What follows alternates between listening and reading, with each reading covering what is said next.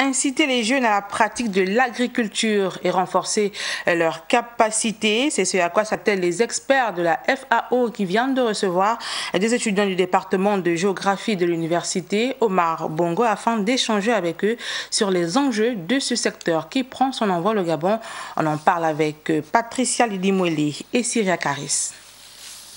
Ce jardin, initiative de la FAO, constitue un cadre de démonstration et d'apprentissage pour ces jeunes venus solliciter un renforcement de capacité des experts dans la pratique agricole. Ils ont voulu euh, savoir ce qui, euh, ce qui peut être fait à leur niveau, en premier à petite échelle, et voir comment à moyen court terme euh, développer des superficies assez importantes et aussi surtout surtout partager les connaissances avec les autres groupes d'étudiants en matière de production agricole.